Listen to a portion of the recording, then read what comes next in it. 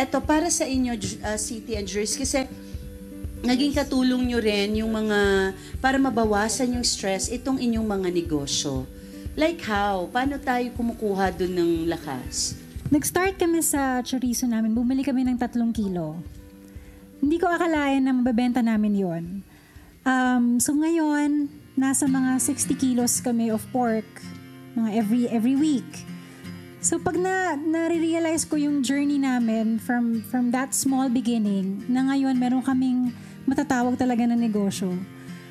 Nakakakuha ako ng inspirasyon doon na hindi natitigil ng pandemic ang lahat ng creative processes or lahat ng creation na pwedeng um, ayun, magawa. Kahit kahit sa um, paligid natin, kahit sa paligid natin parang wala, pero meron at meron tayong magagawa. So, yun yung naisip ko kayo. Totoo, totoo yan.